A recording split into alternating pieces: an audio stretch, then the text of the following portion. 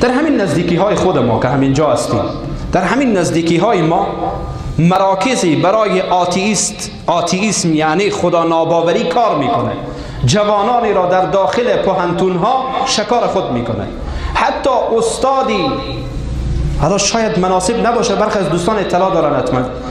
بعضی از کسانی که به نام استاد شرعیات در داخل شرعیات درس میده یک آتیسته بعدا جوانان رو به سوی خدا ناباوری دعوت می‌کنه. مستقیم دعوت می‌کنه.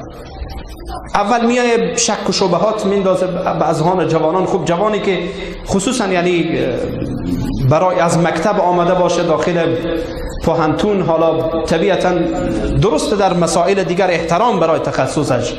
ولی در مسائل دینی طبیعی است که این فرد تخصص نداره که بفهمه با شبهات چگونه برخورد می‌کنه این حرف درسته این حرف نادرسته. یک سری پروژه ها میدن برایشان.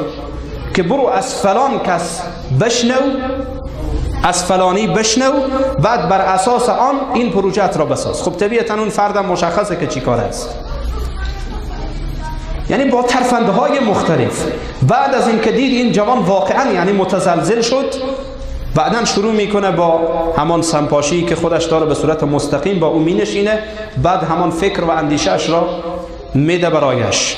و جالبه من سال گذشته این شنیدم نمی‌دانم حالا چقدر واقعیت داره یا نه ولی از فرد معتمد شنیدم. یکی از کسانی بود که در انجینری درس خوانده بود.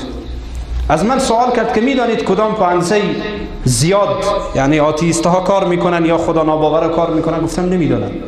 یکی از پانزه ها رو نام برد. حالا نام نمی‌گیرم شاید بعضی از عزیزان اینجا باشن مناسب نباشه شایسته نباشه.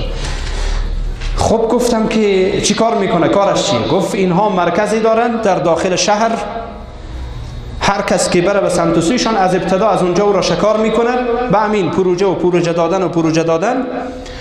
بعد سرانجام این فرد را چی میگه؟ میگه این اسلام اصلا با علم در تضاده مثل که امروز برخی از این گروهک ها میگن. میگه اصلا اسلام با علم در تضاده خب تعریف تو از علم چیه؟ نمی‌فهمه. چی را تو علم میگی؟ چی را دانش میگی؟ مشخص نیست.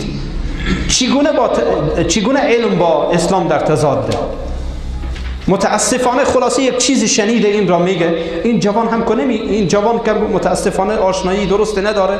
یا می‌گیرن مثلا خط و برید آیات قرآن کریم برخی احادیث دروغ و موضوع را به خورد این فرد میدن بعد این فرد نسبت به دین متزلزل میشه. بعد او را شکار می‌کنن شکار می‌کنن و می‌برند و ماه سه هزار افغانی برایش میدند ماه سه هزار افغانی برایش میدند به خاطر اینکه این فرد حالا یک اسلام ستیز از این ساخته بشه. شما فکر می‌کنید اینها مفت و مفت مثلا در فضای مجازی خصوصا می نشینند بیکاره یعنی هر لحظه که شما مطلبی بنویسید موجوده.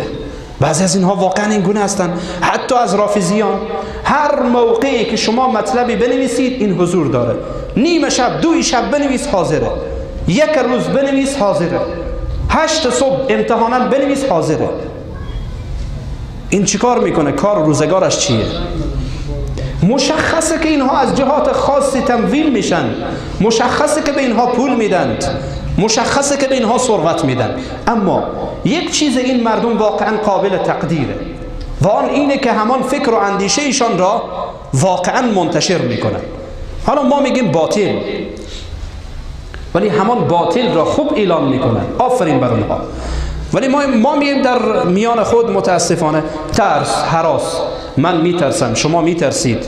برادر ما میترسه خواهر ما میترسه. نه بترسید. نگید این حرف را. خطر داره حکومت فلان می‌کنه. نمی‌دانم فلانی ها فلان می‌کنن.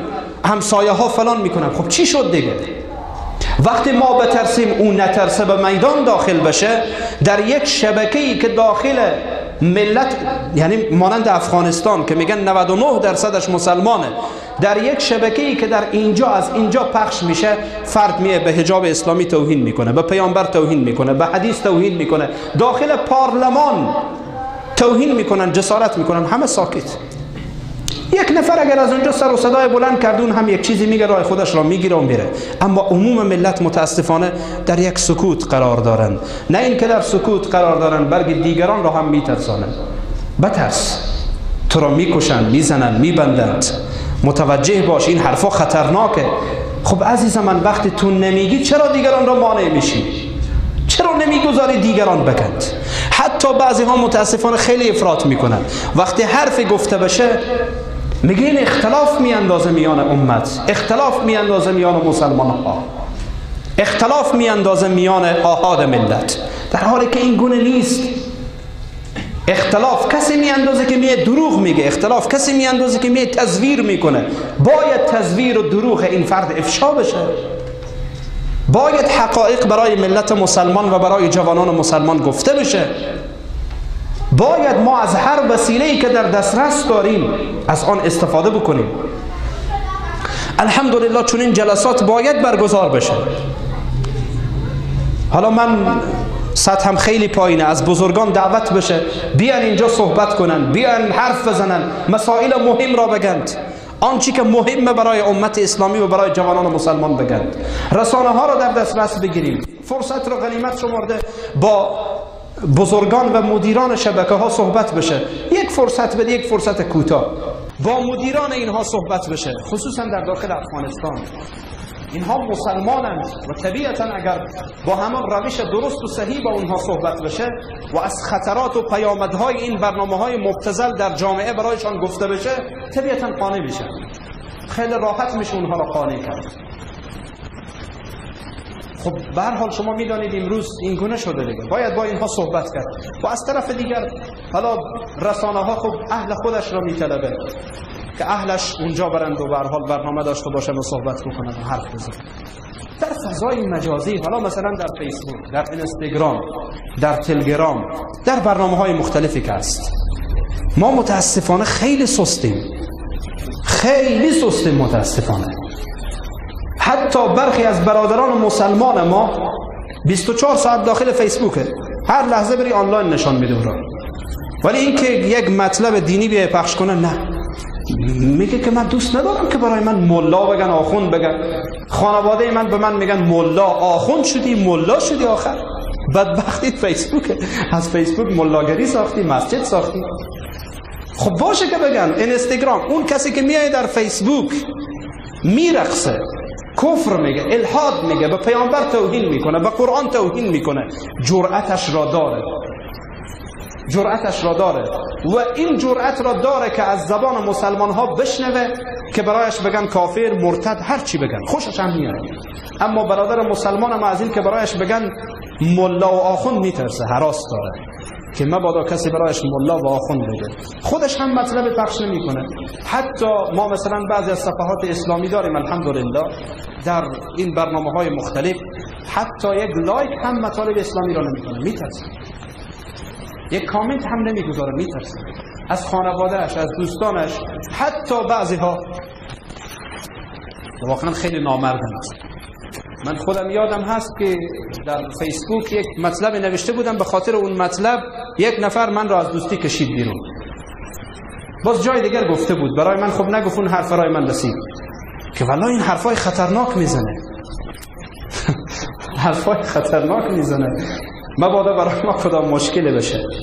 این متاسفانه غیرت ما این همت ما. من خودم را هم میگم خیلی متاسفانه کوتاهی داریم خیلی از حقایقی که باید برای ملت گفته بشه ولی متاسفانه ما ساکتیم. خیلی از حقایقی که باید برای ملت مسلمان گفته بشه و بیداری در میان جوانان مسلمان بیایه ولی متاسفانه ما ساکتیم. سکوت می‌کنیم. سکوت اختیار می‌کنیم. میترسیم. منافع خود را میسنجیم. به جایی که دین برای ما ملاق قرار بگیره که اینجا دین از ما چی خواسته؟ متاسفانه میچسبیم به این که والا اگر من این حرف را بگم کدام مشکلی برای من نمیشه؟ مقام خود را از دست نمیدم. این پولی که به من می‌رسه قد نخواهد شد. و و و الى آخر. وساوسی که شیطان در اذهان ما می‌گذاره.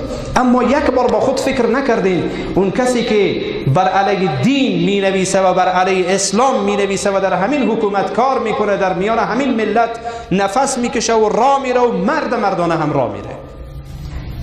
هیچ وقت این فکر را نمی‌کنه. فقط همیشه به فکر اینیم که والله ما چی بشیم؟ و ما چی می‌شویم؟ باید کار بکنیم فضای حقیقی و فضای مجازی را پر بکنیم از دعوت به سوی اسلام با حکمت و با علم. وقتی میگیم علم باز کسی نگه که حالا من خوب عالم نیستم نه. در حدی که می‌فهمیم. هر کس در حدی که می‌فهمه. اگر در این حد نیستیم حداقل به دنبال کسانی که می‌فهمند به دنبال اونها باشیم. باید صبر داشته باشیم استقامت داشته باشیم توانمندی به خرج بدیم. خصوصا در فضای مجازی چون فضای مجازی دیگه فضای حقیقی نیست.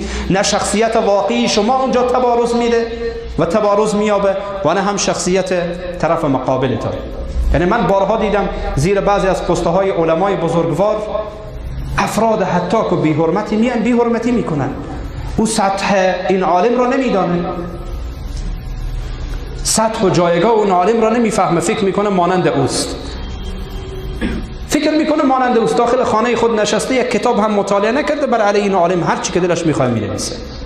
من خودم یک بار یادم هست جناب استاد بزرگوار اینجا هستند تشریف دارم پستی را ایشان گذاشته بودند. من واقعا خیلی ناراحت شدم. حتی با برخی از دوستان گفتم چند تا افرادی که شما باور کنید سطح سوادشان در ابتداییات اسلام هم نیست. آمده بودن حرفای رکیک نوشته بودن در حالی که اگر شما سطح سواد او را ببینید سطح سواد این استاد بزرگوار را ببینید زمین تا آسمان فرق دارد. اصلا غیر قابل مقایسه. ولی باید صبر داشت. باشه برایتان آخوند بگن باشه شما را دشنام بدن باشه برایتان بد و رد بگن ولی این وظیفه ماست.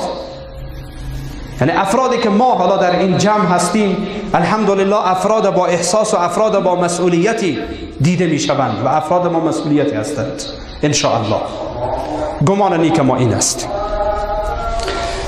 به حال فکر می کنم که حرفا خیلی طولانی شده. من از این بیشتر دیگه صحبت نمی کنم مگر نمی‌دانم طریقه مجلس چگونه است جناب مشفق صاحب عزیز؟